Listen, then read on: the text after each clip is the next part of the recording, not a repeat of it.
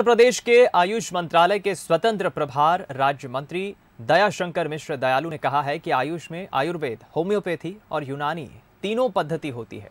आयुर्वेद तो हमारी वेदों से जुड़ी हुई पद्धति है। मैं पीएम मोदी के क्षेत्र काशी से आता हूँ। आयुष मंत्रालय भी पीएम मोदी की देन है। यूपी में सीएम योगी आदित्यनाथ ने भी इसको शुरू किया है। इसी अहम मुद्दे पर खास बातचीत की विशेष संवाददाता आलोक राय ने।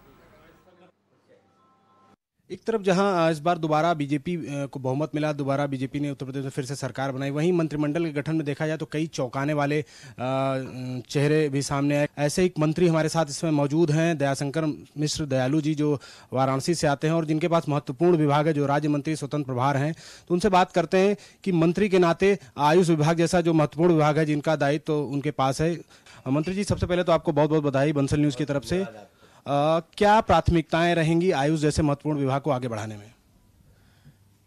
आयुष में आयुर्वेद, होम्योपैथ और यूनानी तीन पद्धति है हमारी।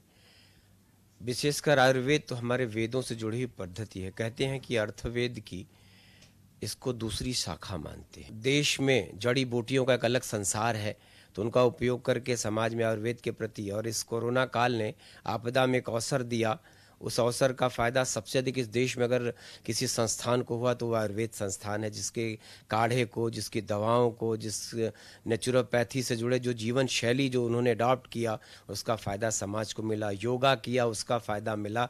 तो आज हमारा योगा पूरी विश्व में, पूरी दुनिया में डंका बजा रहा है भारत का। आपने ज़िक्र किया कि आप काशी से आते हैं तो इसी से एक सवाल निकलता है कि काशी, यानी बनारस से ही प्रधानमंत्री सांसद हैं बना, वो प्रधानमंत्री भी हैं, वहाँ के सांसद के होने के साथ साथ लगातार वो बनारस पे नज़र रखते हैं। और कहीं ना कहीं बारीक नज़र अगर कहा जाए तो प्रधानमंत्री की हमेशा बनी रहती है। और आप वहाँ से आते हैं, साथ ही साथ एक ऐसे विभाग का दायित्व तो आपको दिया, जिसका अक्सर प्रधानमंत्री ज़िक्र करते हैं, लगातार वो आयुष के बारे में बात करते रहते हैं, आयुर्वेद के बारे में बात करते रहते हैं। तो ये, इस नाते आपके कंधों पर कितनी बड़ी ज़िम्मेदारी आप मानते हैं कि दी गई है?